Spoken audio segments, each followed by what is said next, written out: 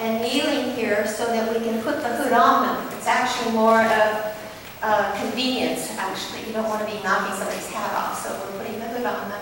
And then they will walk across and receive their diploma. So I think this is about it. Please um, hold your applause if you can help yourself until everyone's through. Um, Are we ready? Okay. Jesus Garcia.